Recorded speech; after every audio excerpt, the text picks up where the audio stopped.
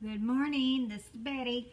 I'm going to show you another money saving tip and how I do my sausage because I always like to keep some cooked ahead of time so I can have it for breakfast sandwiches or anything I'm going to need it for. But anyway, when I buy sausage, I usually buy several rolls and I put it in the freezer. This is frozen right here. I put it in the freezer because if I don't, I don't get it cooked when I should and I sometimes let it get bad in the refrigerator so I don't want it to go bad so I freeze it and I'll show you how I cook it.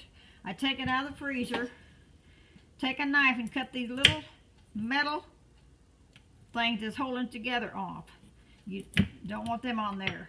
Then I lay it in a plate and stick it in my microwave.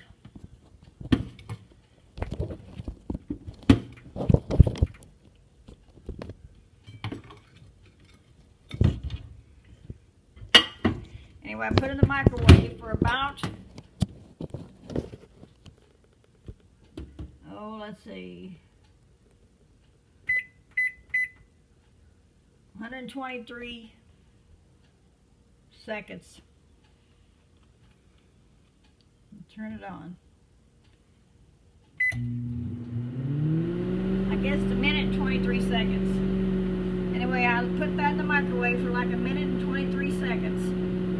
Turn it off. When it gets through, I'll take it out and I'll show you what I do with it then.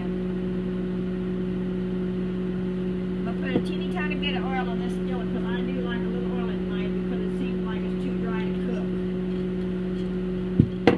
So I just put a tiny bit of oil in there.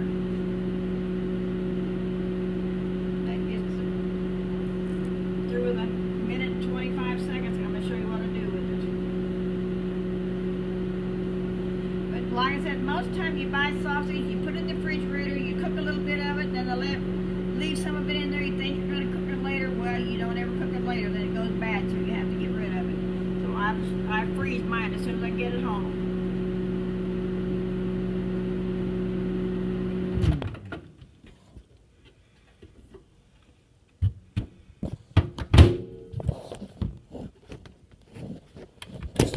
My camera's about to fall. Okay, after I take it out of the microwave, I take a knife and slice it. It's still just a teeny tiny bit frozen, but it will slice really, really good. But I just slice it in little slices. It's cheaper to buy it like this and slice it yourself than to buy it already sliced. And this is perfect to have in your refrigerator. It'll keep for several days and you can make breakfast sandwiches if you're in a hurry or whatever you want, put in your scrambled eggs. It's always cooked and ready to go. This is what I do with mine. It's a very, very good money-saving tip. Because I do know sometimes we buy our meat and stick it in the refrigerator and don't get it all used up and it goes bad. Now I'm going to take and cut the plastic off of it. When I get through, I'm going to have a bunch of little sliced sausage.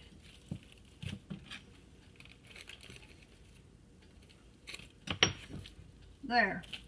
Now I'm going to put it in my skillet.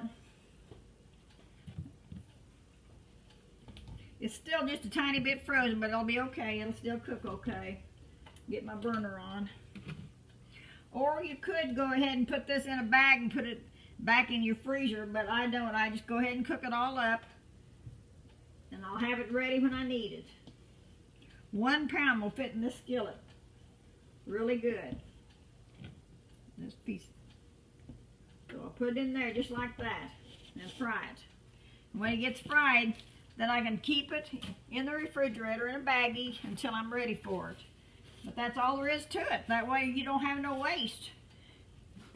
It's solid, it's frozen, you don't have to worry about it, and it's really quick to take out and fix it in your microwave, just like I did. So, you have a blessed day, and I hope that'll give you some good ideas of what to do with your meat when you get home with it, instead of just leaving it in the refrigerator. Thank you. If you like my video, please subscribe and hit the notification button and you'll be notified every time I make a new one. Bye.